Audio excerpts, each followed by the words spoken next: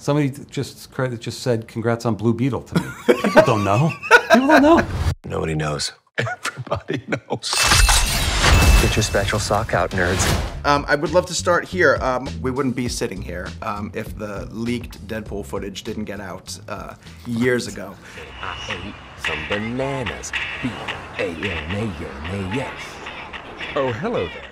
Um, do you remember seeing that for the first time? And, and as a Marvel president now at this point, you can't condone leaked footage, but ultimately that got us here.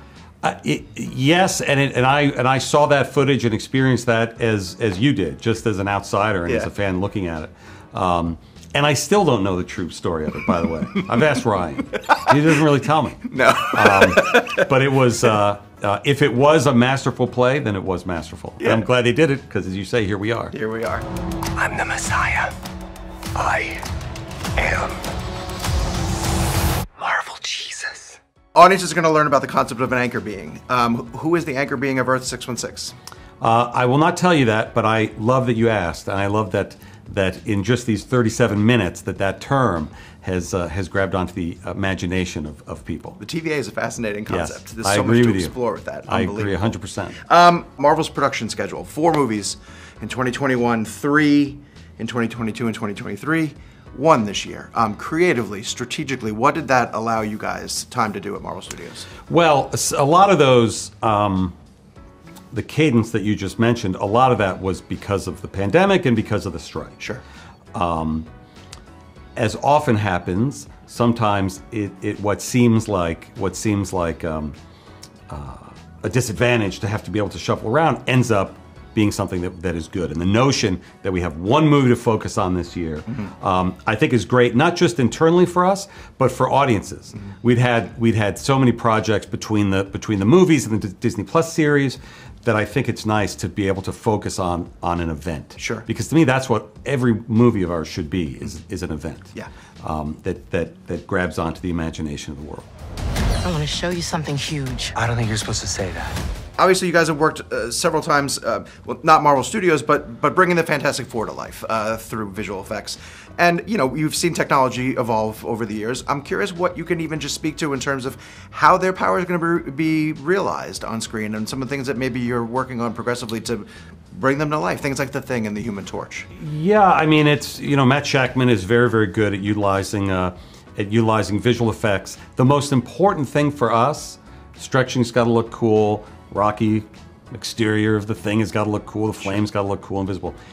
It's all about the character. Sure. It's all about the family. It's all about that dynamic. So the minute we got that cast that we've announced signed up, 90% of the work was done. Right. That is what the focus is of the movie.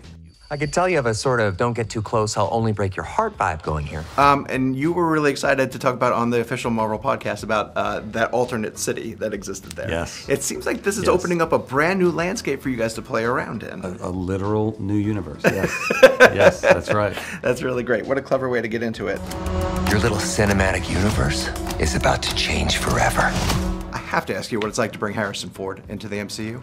Uh, it is great, and I'm sure we'll we'll talk more about that for Captain America: Brave New World. But that trailer has just come out, and I think people get to see that side of uh, of Harrison. And uh, we, we're working on more pieces that will be unveiled uh, between now and the movie coming out. That uh, even better. It is uh, surreal to to work with uh, to work with him. Yeah, that's got to be a dream. He's incredible, and he's everything everybody wants to believe he is. Right, still Yes. to this day. I mean, I would assume you had a list of people crossing off of like to bring in, and he had to be near the top. Absolutely, I was very jealous. Uh, uh, uh, my friend Jon Favreau worked with him on a movie called uh, Cowboys and Aliens after Iron Man. Yeah. I thought that's so cool. Are we ever going to be able to ever be able to do it? Right.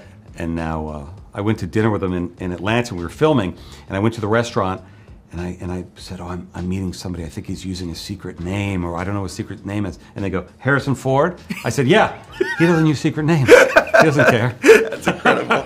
I am soaking wet right now. You mentioned that there's a script for Spider-Man 4 coming, which is really exciting. I know people want news on that. Um, we love what Jon Watts has done. Would you like him to continue, or are you looking for a fresh voice? Uh, we, we, we love Jon. Jon did three of the best Spider-Man films ever for us. Uh, he's got lots of things going on now, uh, so we'll probably be looking for looking for uh, for somebody else, just because he's he's uh, busy. Yeah, Star Wars, and I never got a chance to thank you for No Way Home. By the way, Oh. um, it was you know such a busy time and so much Yes. going on, and that Yes. movie I can't tell you what that movie means to me. I mean, I watch it on a regular basis, and I can't believe it exists. That's great. It's Me neither. so fantastic. Stop it. I was lucky enough to go to Cleveland last month and watch James film Superman. Oh, cool. And I know, obviously, your love for the Donners uh, and and your love for James. Um, Yep. Have you seen anything that he's been doing over there? What are your thoughts on him and I've Superman seen the and- paparazzi shots that I'm sure everybody else has seen. Yeah. Uh, and it looks great to me. Yeah. James is the best. What is your thought in terms of like uh, how iron sharpens steel? Um, you know, is it good for Marvel Studios if DC is equally competitive for you guys at the time? Uh, yes, I've always said yes. Mm-hmm. Because number one, I want to see great movies. And number two, I want there to be great movies in theaters for audiences to go, and in between our movies, be reminded that going to going to the going to the movies is a is an incredible and singular emotional activity. Mm-hmm. Um, so the more great movies there are, Twisters this weekend is over uh, overperforming. I haven't seen it yet, but I can't wait to. So that's that's exciting. And then when it comes to the to uh, to uh, the distinguished competition, as they say, lot of people don't know the difference. Yeah. Somebody just just said congrats on Blue Beetle to me. people don't know. People don't know. yeah, that's very true. I didn't even think about that. Yeah. Um, you know, but and one of the things, and I love hearing you say this the other day about superheroes not being necessarily a genre of the stuff that they play around in different genres.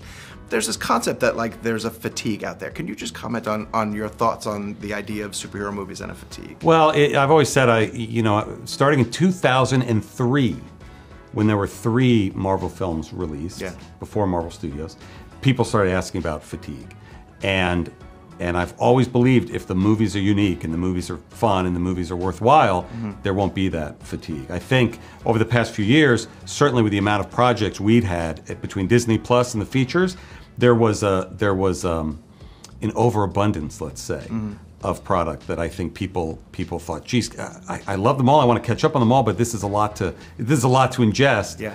Um, and as you've already talked about with our cadence, slowing that down, making sure each thing is special, each thing has the time internally to uh, to be developed right, which is why our Blade movie is frustratingly taking so uh, Yeah, long right. to make sure we get it right.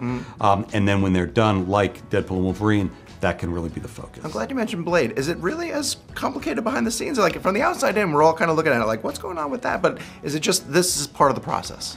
It's part of the process, and when you have a character as famous as Blade and an actor as famous as Mahershala, um, everything that happens just gets a lot of attention. Mm-hmm. You know, I'm sure you've heard us talk about we were struggling uh, finding the perfect reason for Deadpool to exist, the third Deadpool movie that MCU, and then Hugh Jackman called. Yeah. and it fell into place. Yeah, yeah. Right. Sometimes you need that magic thing that falls into place. Right. And sometimes it happens. Uh, sometimes it takes a day. Sometimes it takes two years. Sometimes it, it takes ten years. Yeah, yeah. Uh, and that's but that's what you really should be waiting for until you make something.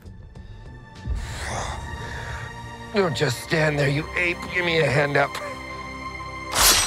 Nope, I'm actually okay. Thank you very much.